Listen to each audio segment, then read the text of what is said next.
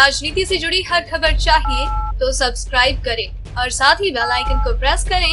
Latest news सबसे पहले पाने के लिए।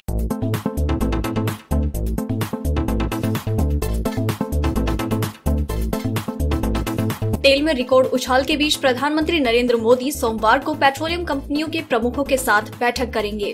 इस दौरान कच्चे तेल की कीमतों में उतार चढ़ाव और ईरान पर प्रतिबंध की चुनौतियों पर मंथन किया जा सकता है।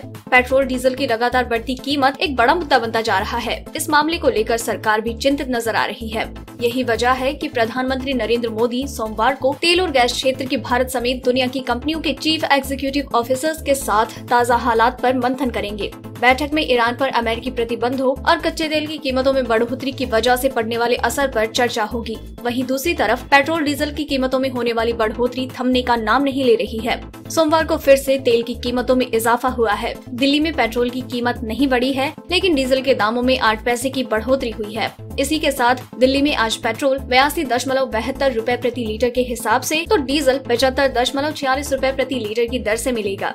अगर आपको हमारी ये स्टोरी पसंद आई तो इसे लाइक करें और अपने व्यूज़ में कमेंट करके ज़रूर बताएँ।